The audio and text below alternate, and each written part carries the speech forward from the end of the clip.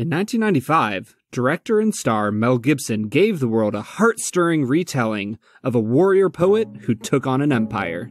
In 2020, we return to the world of peated scotch.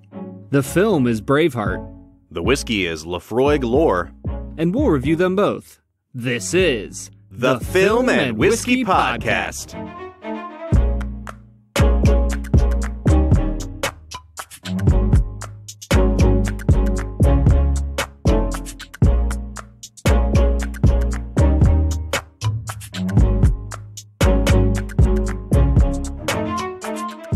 Welcome to the Film and Whiskey Podcast, where each week we review a classic movie and a glass of whiskey. I'm Bob Book. I'm Brad G. And this week we are looking at the 1995 film Braveheart. Brad, we have finally arrived at the film that won the Best Picture Oscar for the year of 1995, uh, somewhat controversially. And it seems like in a lot of corners, this movie uh, has been really, really downplayed. I just saw a list this past week of like the 10 worst Best Picture winners of all time, and this movie was on the list. And so I'm actually really excited to talk about this movie, Brad, because I think there are a lot of different directions we can go with this film. Do we talk about the movie itself? Do we talk about how apparently historically inaccurate it was? Do we talk about Mel Gibson and, and the problematic things that arise out of watching his movies now? So I, I'm really excited to get into this one. But before we go any further, Brad, tell me your initial thoughts when, when you saw Braveheart on the list of movies for this season. I mean, did you did you have a lot of familiarity with the movie? Oh, Bob, I was super pumped. I mean, this is a movie I've probably seen five, six times now. Um, like, like this viewing was fifth, sixth, maybe seventh viewing. So this is a movie I've seen plenty of times. I probably hadn't seen it until I was, I don't know, 17 or 18. Um, I, I think I might have seen it my senior year of high school. So it's a movie that in, you know, in 12 years now, I've probably seen it about every other year. So this is like required viewing in the G household. um, friend of show Jordan McCain had never seen it, so we made him sit down and watch it. Uh, it's it's my it's one of my wife's favorite movies of all time. Wow. So like I I'm I'm pretty well steeped in Braveheart. Yeah, I guess so. You know, I remember this movie being on TV all the time growing up, and, I think it probably still is. But this was the kind of movie you'd see on like AMC or Bravo, and it would end up being four hours long just because of all the commercials they would throw into it. I've probably seen bits and pieces of this movie, you know, 25, 30 times in my life, but I can't remember the last time I sat down and watched it all the way through. It's been well over a decade for me, I would think. And it was a really interesting viewing experience, Brad, because this is a three hour long movie. And it's not the first three hour movie that we've done on this show. We watch a lot of long movies, I feel like. But watching this movie, Brad, it felt every bit of three hours long. And I don't know if you had the same reaction I did, but especially the first 45 minutes or so, it was like the longest, slowest movie I'd ever seen until, you know, the inciting incident, which we're going to talk about. Like the the 45 minute prologue to this movie was it just dragged so much. Yeah, and, and Bob, I think one of the things I'm going to point to, which we might be getting into a technical aspect of the film kind of quickly here, but the music in this movie is so slow and melodramatic, and every scene is like bum bum bum bum bum, and it's all just like drawn out and long, and it takes forever to get anywhere. And it's the middle of the '90s, so we got some awesome slow mo going Oh, on, yeah. and and you know what, Bob? I freaking love it, man. like I just I just eat it right up. Uh, And I know that some of that is nostalgia. I know that some of that is just I don't know. There's something about it that I still love to this day. Uh, but yeah, there, there's issues with the pacing in this movie, and I know we're gonna get into that.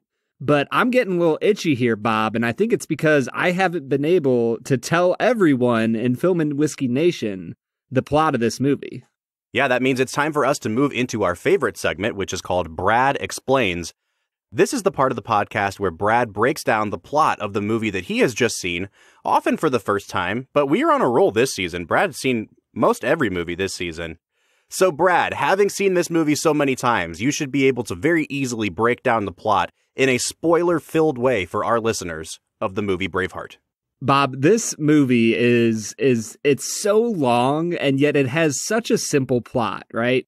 The movie starts off with a young William Wallace, um, who whose father is uh, not even a nobleman, but he he kind of gets involved in the local politics, and a bunch of his friends get murdered by the evil English king Edward Longshanks, and his father and brother go off to fight. They're killed in the war, and Wallace is raised by his uncle Argyle.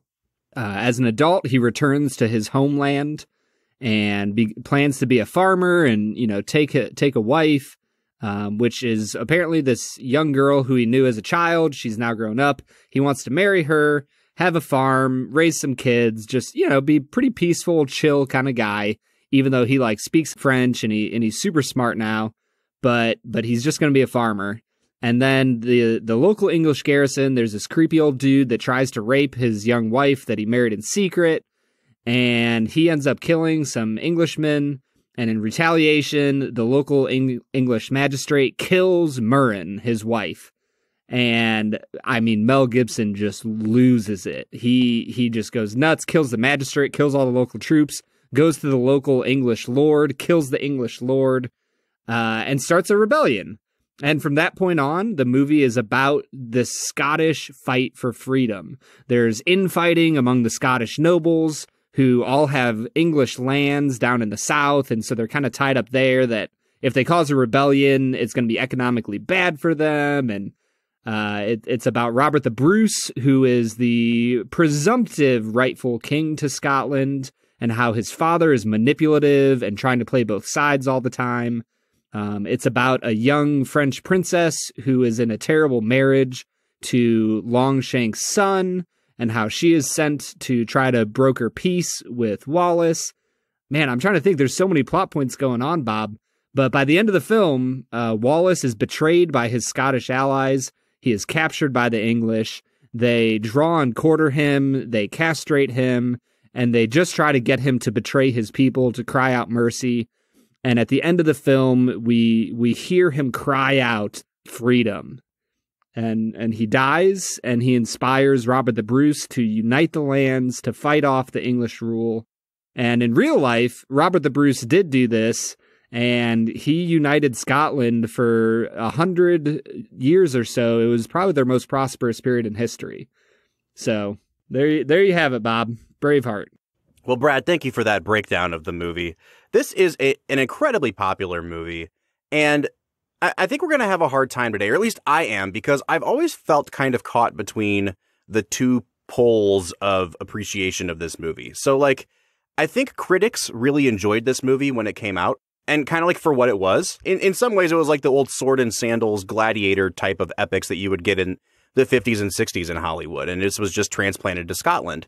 They appreciated it for what it was, and then all of a sudden, it got Paramount's backing for Oscars, and it kind of it won the Oscar over films that people thought were more deserving than this. And I think the critical backlash as a result of that has always kind of carried over with this movie. It you know, it's kind of like Green Book in a way. Got favorable reviews and then all of a sudden it starts winning Oscars and everybody's like, "Oh, this movie sucks."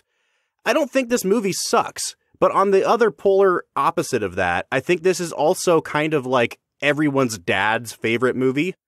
And it like you said, Brad, it's like a fixture in so many American households now because it's so quotable. Like there's just there's so many easily digestible things about this movie. You have Mel Gibson in blue face paint shouting, "They can never take our freedom."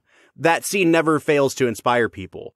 And where I think I land is kind of somewhere in between, which is I think this movie is good for what it is. I think it's an enjoyable movie. I don't think it deserved to win any sort of Academy Awards. And I think it's got like kind of a weird mixed legacy now because people who hate Mel Gibson now are like, they continue to take it out on this movie. And then there's the people who don't care about what the critics say at all who continue to elevate this movie to like, oh, it's one of the best films ever made. And I don't really fall into either one of those camps.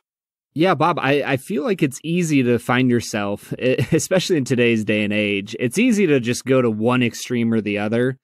But you know, when I when I just sit down and watch this movie and just let it be what it is, like it's a, it's full of a bunch of amazing set pieces of these big battles, these big fights.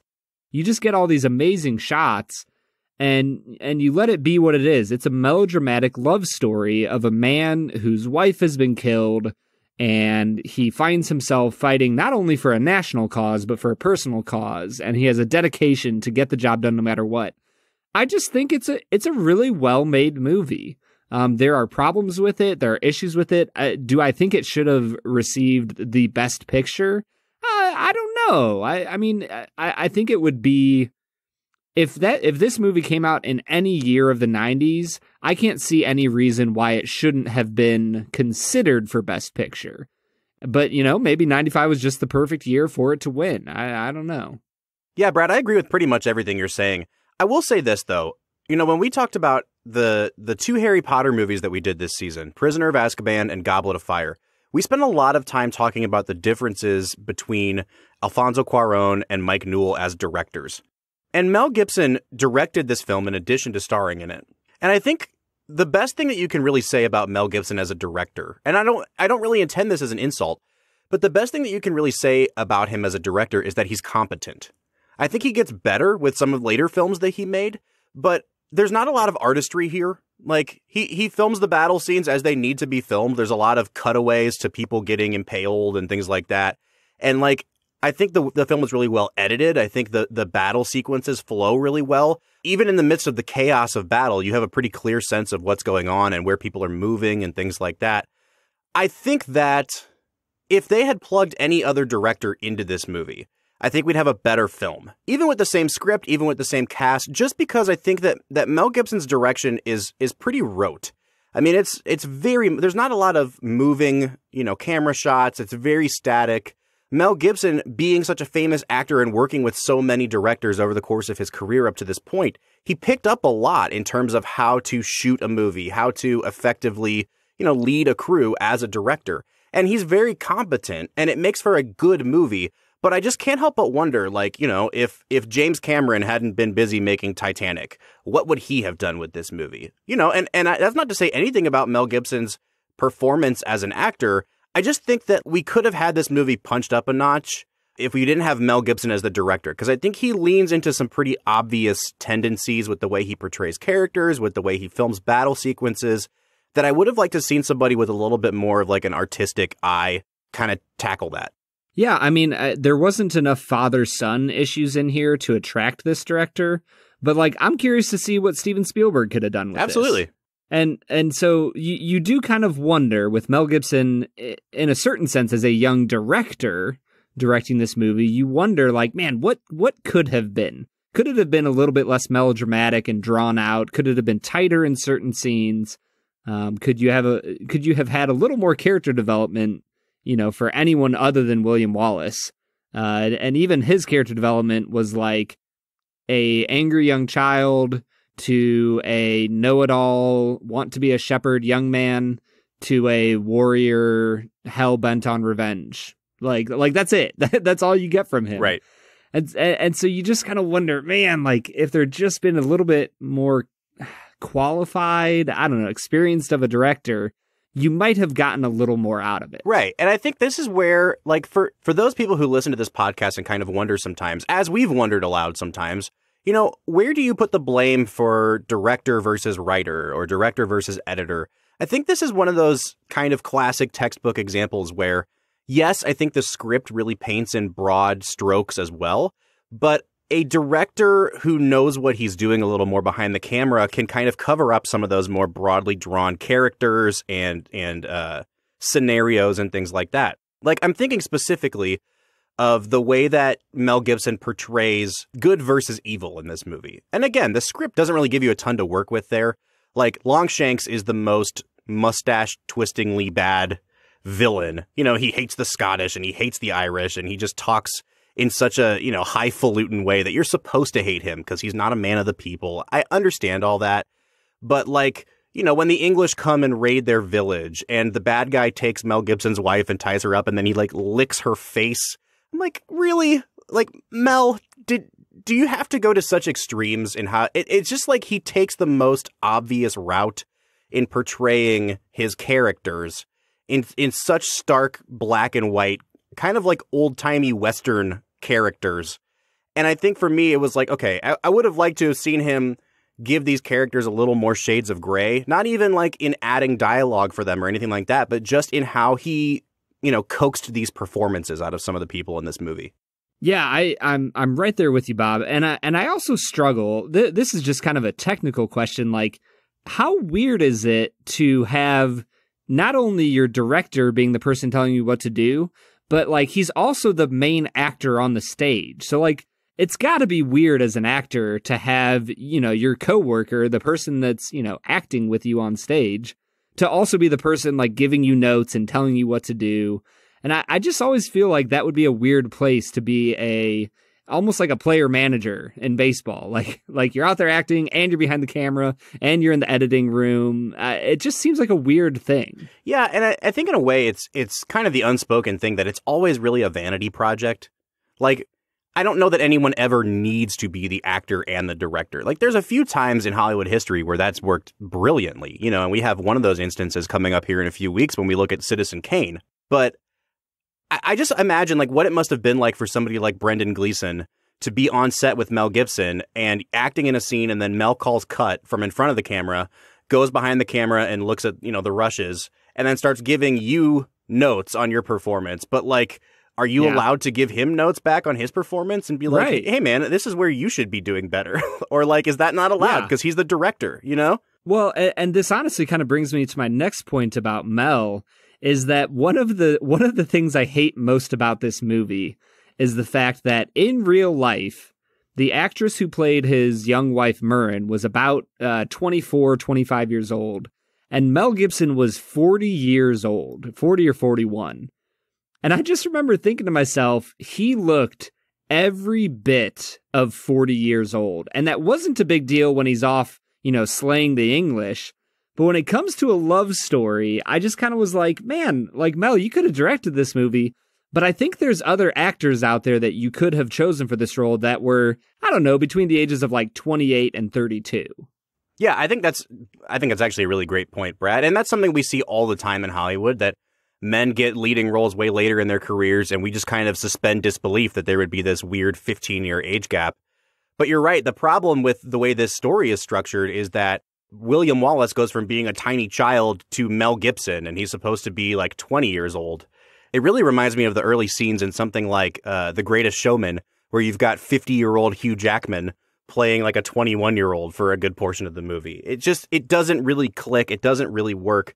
Aside from that, though, I will say one of the biggest compliments I can give to Mel Gibson is that I think his performance in this movie is phenomenal. I think, like, I can't imagine anybody else playing this part now that I've seen Mel Gibson in it. And I think that's really the highest compliment you can give an actor.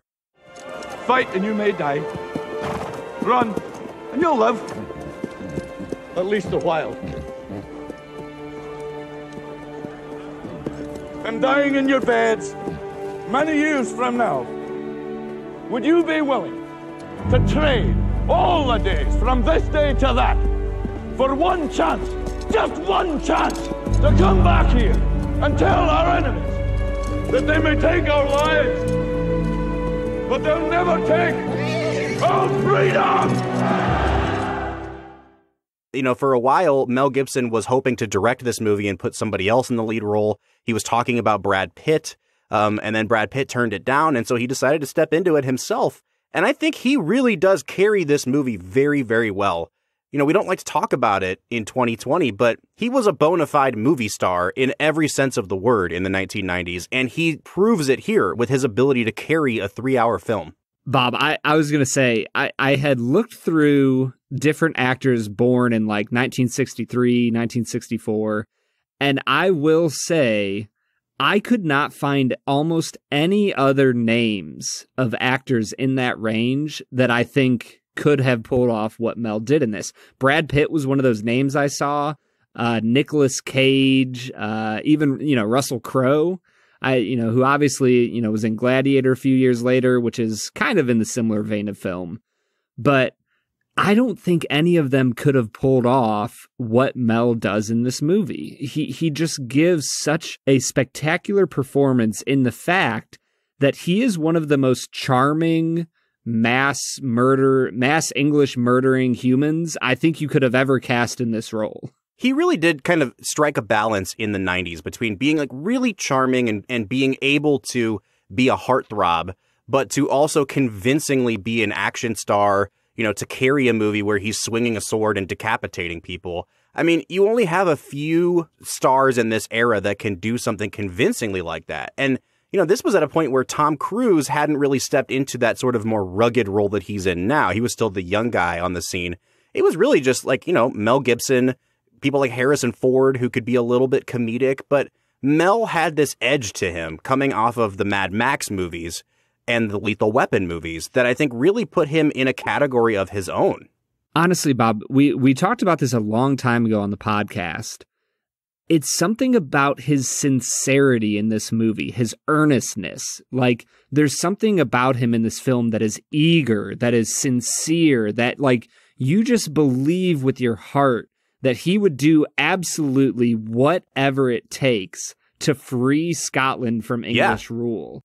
And it's just such a believable performance. I think that's why he works so well in this role. And as much as I don't want him to be William Wallace when it comes to the romantic part, you understand it. And and as soon as he falls into the revolutionary part, I am 100% on board. Well, I think that's where the movie actually finally picks up steam too because I I almost felt like everything before he gets married could have been given to us as like an opening crawl. Like it, it's just it seems so unnecessary. Like a Star Wars, like a Star Wars. Yeah, I really do think it could have. you know.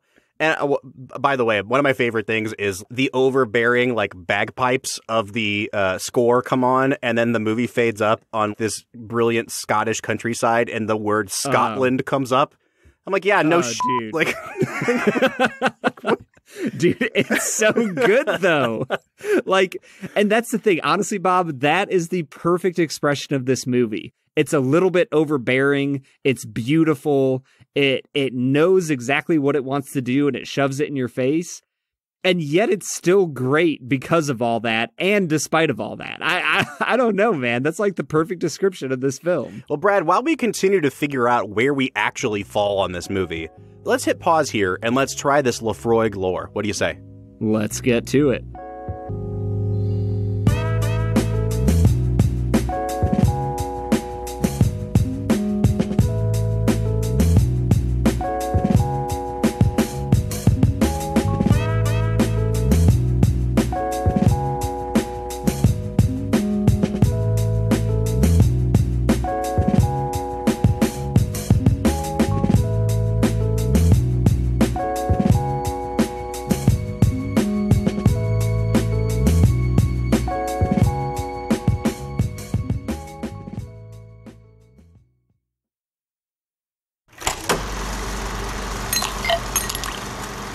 Right, so today we are checking out Laphroaig lore. Now, if you remember, back in season one, we tried regular 10 year Laphroaig. It was our first peated scotch uh, on the podcast. I am not a huge fan of peated scotch. Brad has talked himself into becoming a fan of peated scotch somehow. Uh, like I've dr- can, drank myself into it. Yeah, that's true. I can handle some peaty scotches. I really like Ardbeg as a, a, a more peaty brand. Laphroaig was not one that I was a huge fan of. And I tell you what, Brad, the longer that bottle sat on my shelf, I felt like it just continued to like stew in its own juices. And every time I opened the bottle, it was more and more pungent. And I was like, I just can't do this. And then our friend Bourbonneering reached out to us and he said, Hey, if you really want to try some good Laphroaig, they make this kind called Laphroaig Lore. Let me send you a sample. So we have a sample here in front of us today from our friend Bourbonneering, Austin Dupree. And Laphroaig Lore was added to the lineup of the distillery in 2016.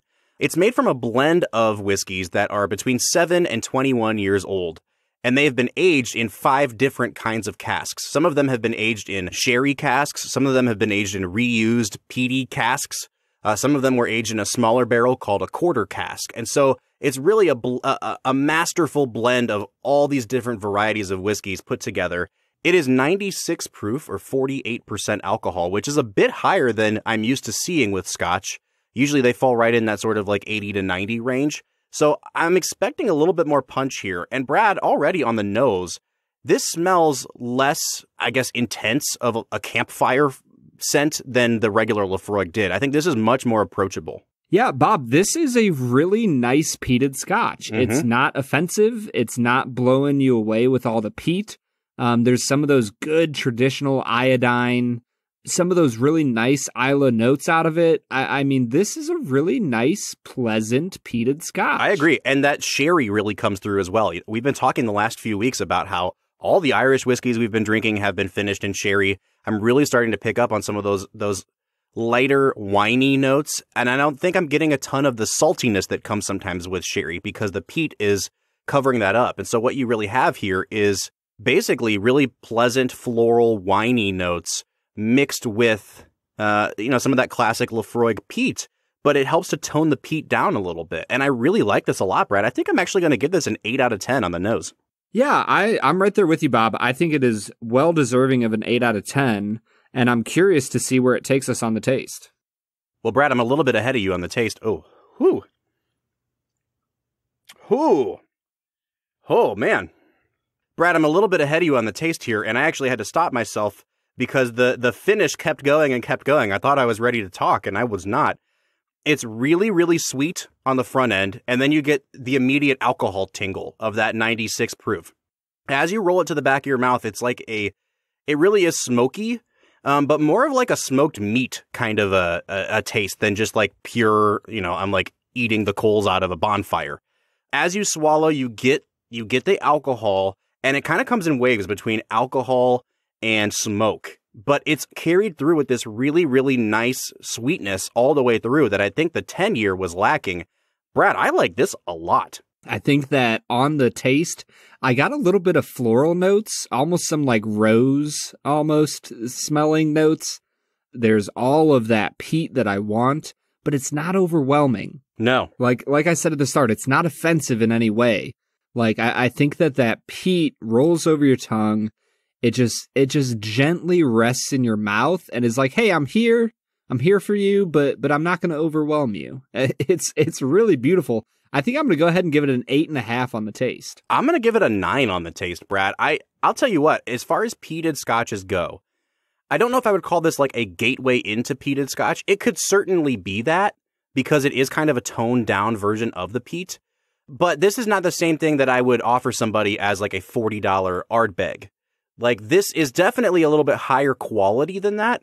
And the thing that I keep thinking about with this whiskey is it's a whiskey that I'm chewing on as I'm drinking it. Like it just has substance to it. It's very thick and it's it's almost like I, th- I guess the word I would use is like meaty. It's a very meaty scotch.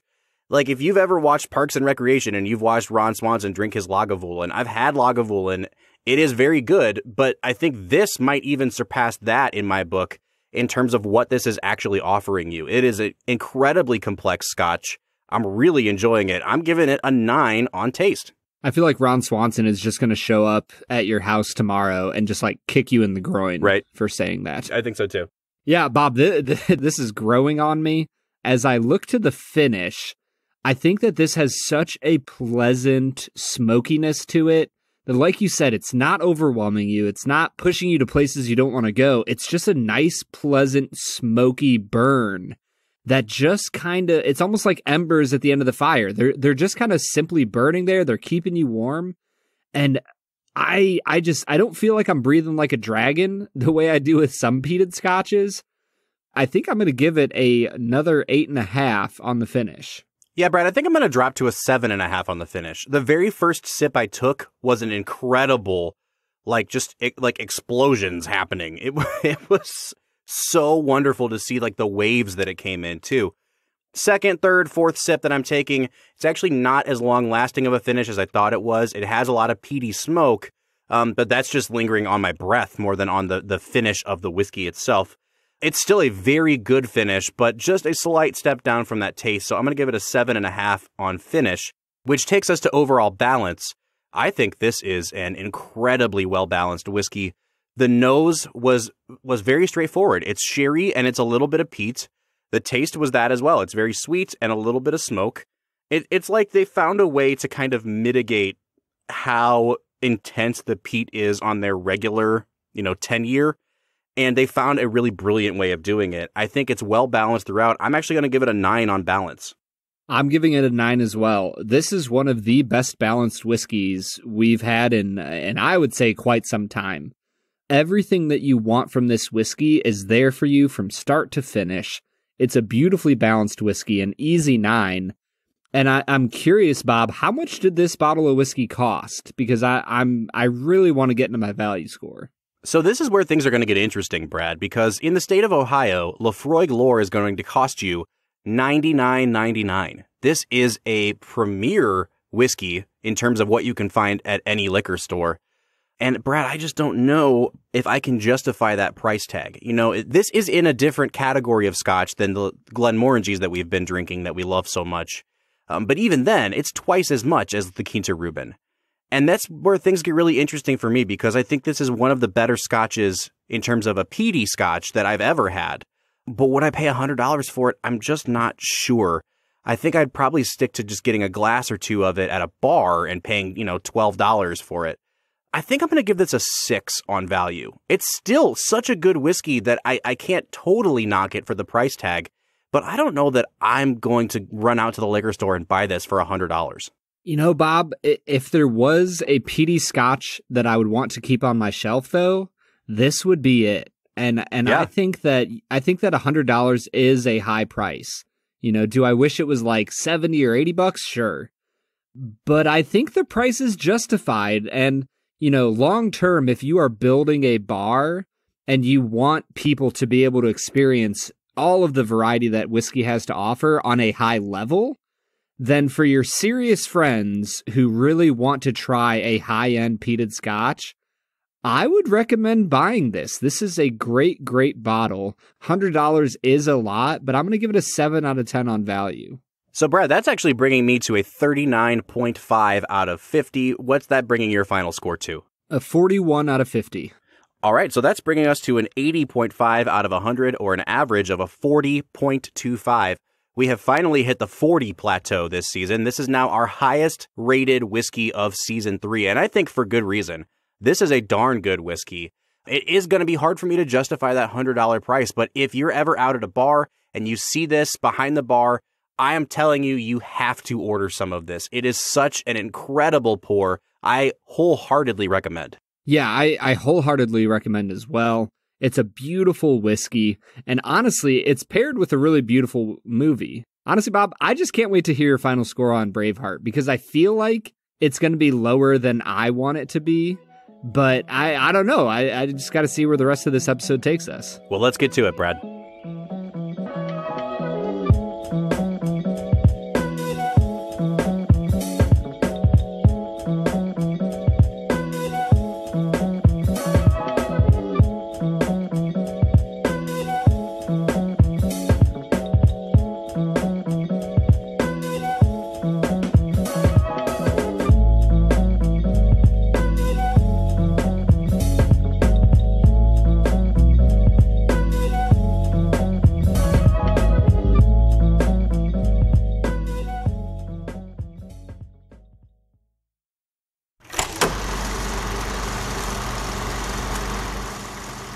So that was Laphroaig Lore. We are getting back into talking about Braveheart. And Brad, we've really only talked about Mel Gibson when it comes to this movie. There are other people in this movie, for those who are listening and have never seen Braveheart before. But I think part of the reason that we've talked about Mel Gibson so much is because he's really the only big name actor in this movie. Kind of the second biggest actor in this movie is Brendan Gleeson, whom we know now as, as a really great character actor, but we know him primarily from the Harry Potter films and and the rest of the cast is really character actors who who don't have a lot of notoriety or fame. And so it's kind of hard to have a sustained conversation about that. But I do think that a lot of the actors in this movie give really great performances. And Brad, I'm anxious to hear who do you think, besides Mel Gibson, is worth calling out for their performance? Well, I, I was thinking through the cast, and you're right. The only person I recognize is Brendan Gleeson, and that's because he's Mad Eye Moody. And then I honestly, this might sound weird, but I recognize Brian Cox as his Uncle Argyle. Oh, absolutely. He's a very famous actor. Yeah, like, but other than those two actors, man, I could not tell you a lick about anyone else in this film. I, I think of them all. Uh, we can talk about Brendan Gleeson for a minute because I loved him in this movie. He's relatable, he's funny, but I, I think the beautiful thing is when when you write a character like Hamish in this movie, you know, Brendan Gleeson's character. I think that with a lesser actor, it would be easy to play them just for laughs. Like that's the only reason they're there. There's nothing serious about them. But I think that Brendan Gleeson, in the same way that he does with Mad Eye Moody, he brings a gravitas to the role that makes you fall in love with him. And, and I really do think he is one of the best character actors out there. Oh, I completely agree. And and again, he doesn't have that much to work with. Like his character really is there to be the sidekick. And your big introduction to him as an adult is just reenacting a scene from their childhood where they throw rocks at each other.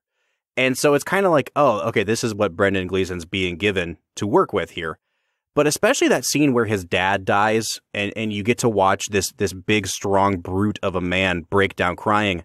I really do think that that Gleeson kind of sinks his teeth into the meatier parts of this role and makes this a much more memorable character than it really deserves to be, to be quite honest. Well, and and you you hit on another character that I really loved was his father.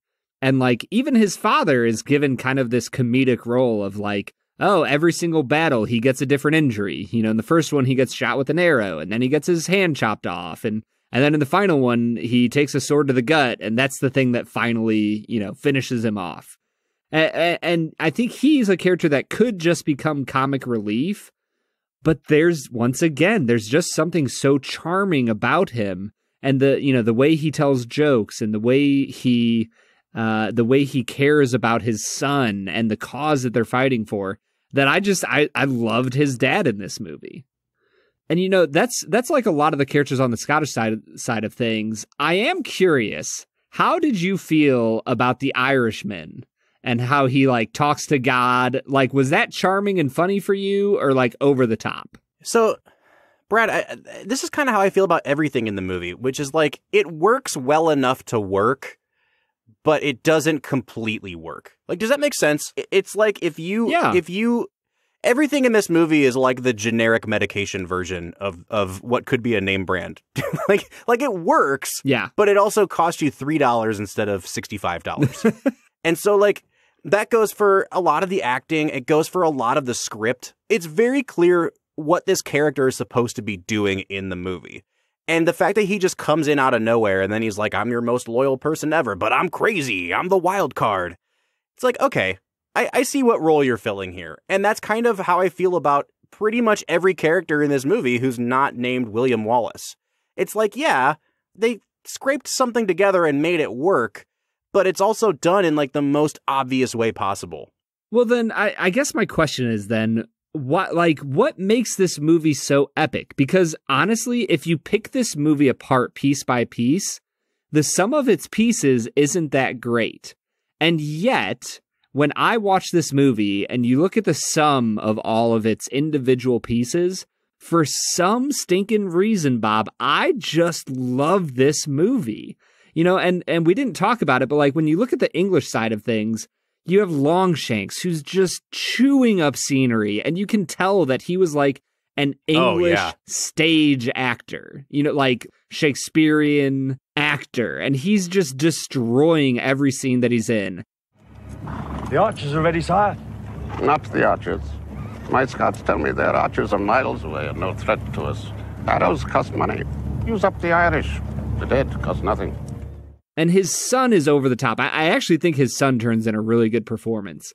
The French princess is is you know sighing all over herself, falling in love with William Wallace. I, I still love her in this movie, but she's a little bit one dimensional. Yeah. So like, what is it about all these characters and flaws that makes me go? You know what? I still love this movie. You know, I think there, there's a couple things at play there, Brad. And I think it's a really good question. I hadn't really thought of it in those terms before because you're right. I mean, I think there are areas where the script is like really amateurishly written. The fact that they found a way to make Mel Gibson have two separate sex scenes with two separate women when the whole movie he was like, My wife is dead and I'll never love again. And then this, you know, attractive English princess comes into the picture. He's like, Well, there are exceptions to the rule, you know? it, it just and I think there's also moments where it's very obvious that Mel Gibson has not really found his footing as a director. The the early sequences of young William Wallace and then the love story, I think, are actually really poorly directed. And I think Mel Gibson knew what lane he was supposed to be directing in. and then also kind of knew like uh, I, I have to include some love stuff. I don't really feel comfortable doing that. And I think you can tell that he's uncomfortable as a director in those sequences. But then, you know, it's almost like when a basketball player has a really terrible playoff series, but then in game seven, when it really counts, he just, you know what I mean? Like he just goes off. And that's what happens with Mel Gibson as a director in this film. The sequences where it really counts are the action sequences, and he knows how to direct the hell out of an action sequence. The battle sequences in this film are incredibly well directed. And I think to this day, you know, the the the very mimicked shots of two colliding forces coming together. I don't think it's ever been done better than in, in this film. You can feel the force of bodies colliding against each other. And I think that it was really revolutionary how incredibly violent this film was because all of the reviews, you know, from 95 are basically saying this is an incredibly gory movie. And I think that 25 years of watching people kind of rip off Mel Gibson's directorial style and get really gory with their hand to hand combat and their, you know, swords and everything else have desensitized us in that regard. But when it really counts, the scenes that we remember, the scenes that matter, are the ones that Mel Gibson actually directs better than the rest of them. And so I think that's kind of why, Brad, for people who haven't watched this movie for a long time, I was surprised to turn this movie on and have 45 minutes of like sleep inducing boredom before we got to the good stuff because the good stuff is what you remember from this film because it's done so well. I, I will say I think sleep inducing is a little bit harsh. I in those opening 45 minutes, I I really liked um, the child actor who plays William Wallace. Oh sure. I think he does a really great job. The you know the unbelievable part of it for me was just that that little in in between spot when Mel Gibson comes back as an adult and he's like pursuing Murron but it's not the worst thing in the world. And if anything, I think that Mel Gibson as a director doesn't work the same way Mel Gibson does as an actor. Because you can tell that as an actor, he's eager and yeah. he's loving and he and he wants to care for Murron and all these things. But as a director, he's trying to do the same show the same eagerness. And it I don't know why, it just doesn't translate super duper well. Well, you were kind of talking about that earlier with his performance and how the earnestness really worked for you. And I feel the same way. And in fact, you know, in that the scene I keep going back to where he's on horseback and shouting freedom and getting the troops roused, I think that sequence works so well because Mel Gibson, the actor, is bailing out Mel Gibson, the director. Because up to that point, you know, we haven't really seen a sustained combat sequence. And I'm kind of like on the fence about is this really a good movie or am I just remembering it wrong? And Mel Gibson, the actor, is so committed it's almost like he's he's talking to me in that sequence where he's like, "No, really, just stay with me. Like I promise I'll give you something that you'll actually enjoy." And he's so committed to that role that I'm like, "Yep, I'm on board now." Having, you know, himself for his star really helped him out as a director. Yeah, and I, I'm glad you brought that scene up, Bob. That scene is so funny to me because Mel Gibson is actually a terrible horseman and he didn't know that horse and you can tell it because when you watch that scene he can barely control the horse oh yeah it's going wherever and, you it know wants. it's going wherever the heck it wants but it, even that gives the scene this nervous energy that you feel oozing off of Mel Gibson it's coming from the horse like you have all this like pent up we are going to fight for our freedom and and it just works. So even accidents like that are just, uh, it's just amazing. Well, Brad, as we wrap up and get into our final scores here, I'll give mine first. I know you like this movie better than I do. And I don't dislike this movie. In fact, I think more of it works than doesn't work.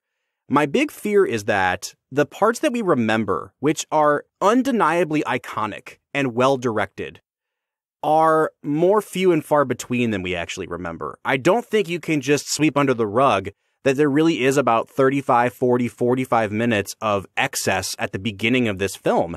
And that anytime it tries to get sentimental, it loses steam. Mel Gibson doesn't quite know what he's doing as a director. The script gets really schlocky. And so I have to be honest about the fact that, like, for every really good sequence in this movie, there's also a sequence that is a little cringy or uh, poorly directed. And so I come out on the side of, like, yes, I like this movie. Yes, it's well done yes, I think two or three scenes are like in the all time great scenes list, but the movie as a whole, I think people should go back and rewatch it and really decide for themselves if the sum of its parts is really as great as we remember it being. This movie for me is a 7 out of 10. It's it's a good movie, it's an enjoyable movie. It is competently made, but I don't know if it's anything more than that. Yeah, Bob, I, I completely understand that rating. There's a lot of issues with this movie, but for me, I really do think that the sum of its parts are are really spectacular. You know, it, it's not a perfect movie for me. I don't even think it's a nine out of ten, but but for me, it is an eight and a half out of ten. I think this is a great movie. It's well worth a rewatch. But in the end, like you have to decide for yourself. This isn't a movie that you should just let the hype roll you away with. Like Bob said, go back, watch it yourself, decide if you really love it. You know, this movie has an 8.3 out of 10 on IMDb, which is uh, among the higher movies. Uh, you know, that's not a low ranked movie. IMDb can be pretty brutal when it comes to films. So go back, check it out. And then honestly, you need to connect with us on social media or give us a call and let us know what you think about the movie. Yeah, you can find us on Facebook, Twitter, or Instagram at Film Whiskey. Or you can give us a call. Let your voice be heard on the Film and Whiskey podcast. Our phone number is 216 800 5923. Once again, that number is 216 800 5923. Or leave us a voicemail on our Anchor webpage, anchor.fm slash film whiskey. Next week, we will be finishing out our series of films from 1995 with the movie that you have chosen, Babe. So please join us next week for that. For the Film and Whiskey podcast, I'm Bob Book. I'm Brad G. And we'll see you next time.